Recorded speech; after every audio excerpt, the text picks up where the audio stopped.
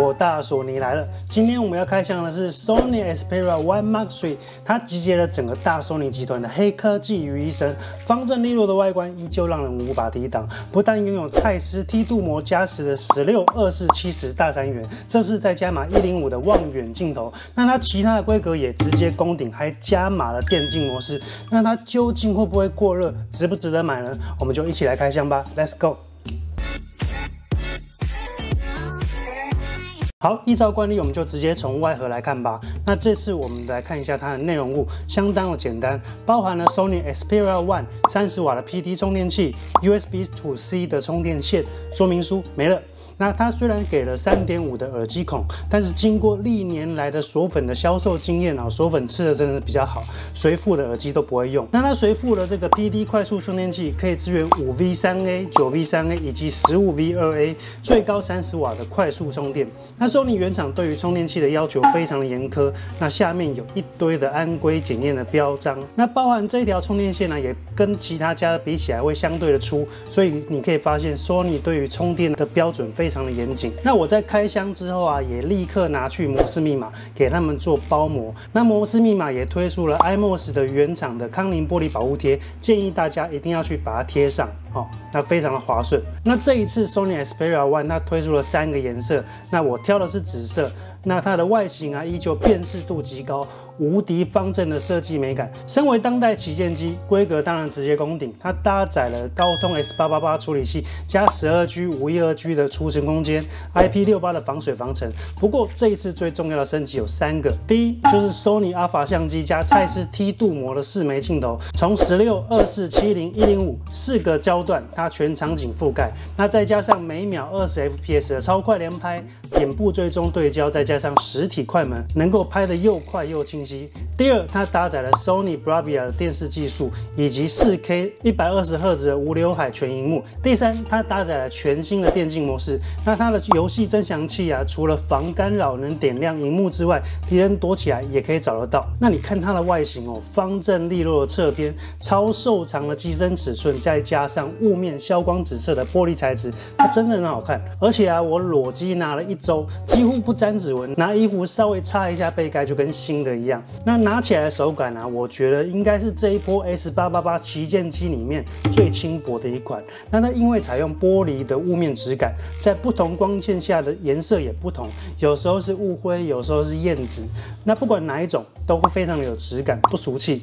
我相信没有人可以抗拒 Sony 的外形设计，真的没有。那它的实体按键呢，全部集中在右侧，包含音量键、指纹辨识键、语音助手以及招牌的实体快门键。那这一次快门键还加了刻纹，可以增加盲按的手感。那另外一侧啊，则是免工具的 SIM 卡槽，卡槽为三选二的复合式卡槽，最高支援两 TB 的 Micro SD，而且这一次抽出卡槽，终于不会重开机了。好，接下来我们进入重点，相机。Sony Alpha 相机啊，广受全世界的摄影师好评。那我自己其实也用 Sony 的相机。那这一次 One Mark Three 终于导入了潜望式镜头，一口气从十六、二四、七零。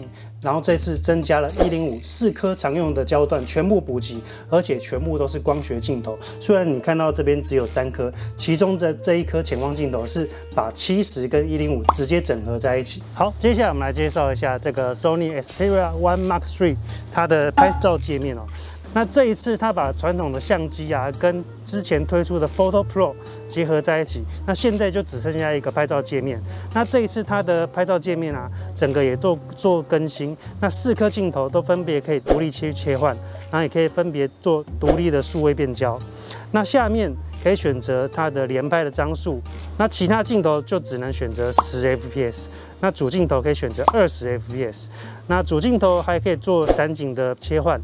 啊，你可以看它可以做分别做散景跟没有散景。那这一次它又把这个拍照的模式啊，分别做在左上角。那在这个地方可以利用转盘的方式去做选择，分别是 Basic、Auto、P，S、M 跟 MR，MR 就是回复最基本的设定，来分别介绍一下这几个模式。Basic 模式啊，是类似像智慧型手机，就是你一般手机拍照的界面。那你可以看到，就是像现在这样子，四颗镜头都可以分别独立去切换，然后可以去选择你的拍摄的尺寸比例。一般镜头可以选择二十 fps 跟十 fps，或者是单张拍摄。那其他的镜头啊。最高只能选择十 APS 主镜头可以去做散景的拍摄。那再来，我们来看到 auto 的模式。当你选择 auto 模式来拍照的时候啊，你全程都可以利用这个实体的快门键来拍摄。那它的虚拟的快门键它会取消掉。那它这个时候它会主动加强防守阵，你在拍摄的时候可以更流畅。像我现在在讲话，一边讲一边拍，但是它的防守阵效果会做得非常好。那在这个地方也可以选择镜头去切换，啊，十六、二四、七十、一零五。那在这个地方还可以再做数位变焦，它整个拍摄界面就很像我们 Sony 的 Alpha 相机一样。那这个 P 模式啊是城市自动，哦，它会自动控制快门速度，那你可以自由调整光圈、白平衡，然后还有其他的镜头去做切换。那在这个地方啊，你可以看到它，哦，整个拍摄界面就跟相机几乎是一模一样的。你可以调整这个 EV。哦，就是亮度，快门优先 S 模式，手动控制快门。那这个通常都是用来拍车轨啦、星轨，然后一些比较低光源的环境，然后又想拉长曝光的时候，会使用快门优先。那再是 M 模式，就是全部所有的参数让你手动调整。那当你调的乱七八糟啊，你也忘记最好的模式是什么的时候，那你就可以用这个回复拍摄设定。好，这个是拍摄的界面。那我觉得 Sony 在拍照上面追求的是跟 Alpha 相机一样的快门组，那这比较符合高阶摄影器材的终极目标，能够拍摄运动赛事不糊掉才是真的。所以这次 Xperia One Mark Three 它直接导入 Sony Alpha 相机的眼部追踪以及物件追踪，那只要是人、动物的眼睛出现在画面中，它就会自动捕捉。那它有实体快门，有超稳的防守阵，再加上每秒二十 fps 的超光。速连拍像机关枪一样打出去，而且弹无虚发，所以以后你要拍小孩啊，拍动物就是给啦快门按着不放就对了。你的工作未来就只剩下挑一张构图好的照片，其他就全部交给 Sony Xperia 1 Mark Three。那接下来我来分享一些最近外出拍摄的一些样张。那像我去拍猫啊，它真的是神机，牢牢的抓住眼睛对焦，眼神对了，什么都对。像猫啊、狗啊、兔子啊一些小动物，只要能够辨识眼睛、鼻子，都可以自动捕捉眼睛。那即使它眯眼、闭眼，也都可以侦测。那就算它离开画面的拍摄范围，当它回到画面的中间，它也可以捕捉得到。那这四颗镜头啊，都是光学镜头，没有哪一颗画质比较好的问题。那我觉得 One Mark Three 它的色彩走的是真实不加料的路线，跟 iPhone 拍出来的很接近，也就是你肉眼看到的颜色跟拍出来的感觉是差不多的。那我觉得这次 One Mark Three 的色彩表现啊，它都还不错，都可以拍得很清晰、很自然，然后也不会让你觉得过艳，然后有点假假的，都不会。不管是叶子的脉络啦，或者是逆光的色彩啊，它透过梯度膜可以压制耀光，可以让色彩再更饱和、更提升。不过它不会再利用软体演算法去提高色彩饱和度，它纯粹是用光学的硬体拍摄。那我使用散景模式啊，拍摄人像，整个人的主体是清晰的，那背景的虚化处理也相当的优秀。那我这阵子真的是拿了手机拍了蛮多的照片，接下来大家可以看一下样张。Xperia One Mark Three 其实有内建 AI 场景辨识，也有夜景模式，但是它并没有独立出来的夜景模式可以选择，而是全自动的辨识场景。当它侦测到低光源需要夜景模式来后置运算的时候，它就会自动启用夜景，所以你完全不需要特别去选择。在自动进入夜景成像的运算时间大概是一两秒左右，我觉得速度是蛮快的。那你看我拍这个乐华夜市的微解封，那你可以看到这个招牌的清晰度，还有在拍到灯光的时候，它也会出现这个十字星芒。我分别用这四颗镜头来做荧幕录影，然后让你看一下它每一颗镜头拍摄的范围大概是怎么样。好，接下来我们来看这一块全球首款 4K HDR 一百二十赫兹的荧幕，同时导入了 Sony Bravia 电视技术的荧幕。那在荧幕的设定当中啊，会看到两个选项，一个是导演模式，另外一个是标准模式，两个同时只能选一个。那导演模式啊，它会用原色的方式去播放影片，它不会修饰，不会优化，它透过十 bit 的色深加 BT 二零二零的色域 HDR 规格，那去忠实还原导演想要拍给你的色彩。但是真正运用 Bravia 电视技术的，则是在标准模式底下的影片影像增强。当这个模式开启之后啊，即使影像未满 4K，它也会帮你补帧补差点，让你所看到的影片都会更滑顺流畅。那荧幕的更新率可以选择六十赫兹跟一百二十赫兹，那全程都可以支援 4K。那这边我把两个。六十赫兹跟一百二十赫兹的差别，把它放在这边。那这只手机也同时支援了立体声双喇叭，同时也加了三点耳机的耳机孔。那这次 Sony 与 KK Bus 的无损音质合作，插入三点五耳机，可以享受无损音质的极致细节。那这一次 Xperia One Mark Three 它还加入杜比全景声以及全新的三六零 Special Sound，它的概念其实跟 Apple 的空间音讯很像，可以利用陀螺仪啊，让声音具有方向性，那你转头啊、摆头啊都可以更明确。不过这个技术哦，目前只支援 Sony 的自家耳机。那另外一个音频增益技术 DSE Ultimate，那它透过 AI 可以把你的 MP3 音乐提升为高音质音乐。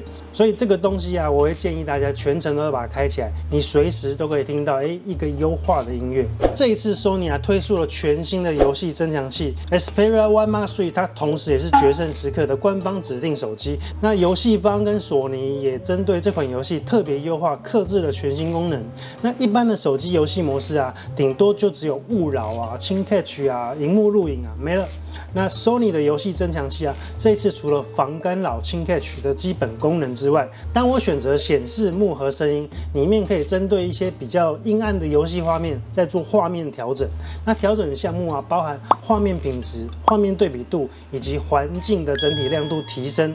那白平衡也可以调整。针对声音，也可以开启等化器，把十频段的人声啊、脚步声提高 dB，减少枪炮炸药的低音，凸显敌人的脚步声以及位置。具体来说，这个就是物理开挂，你声音听得更清楚，按步看得更清楚。那另外啊，荧幕录影它这次还多了预录三十秒前的功能。比如说我之前打一场游戏，然后赢的时候，我才想到，哎，我忘了录影。当你忘记录影，它前三十秒的过程，它也会帮你一起预录下来。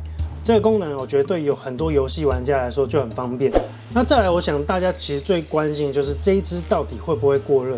那我这一支其实是 Xperia One 的顶规版本，那 S 八八八加十二 G RAM 加五一二 G 的空间，S 八八八这一次真的是比较热。不过从上一代啊，Sony 就加入了石墨烯来帮助散热。那这一次它把石墨烯的面积做得更大，几乎是占据整个三分之一的面积。那我使用安兔兔测试得到七十七点九万分，那 PC Mark 跟三 D Mark 的分数大概是这样子。那在跑烧机测试的时候啊，最高温度会出现在这个镜头的附近，那也就是机身的上半部。那我用温度枪测得最高四十度以内。那一般手持啊，你一般不会握到这个地方。那如果你在玩游戏的时候，大概也都可以维持最高 FPS 运作。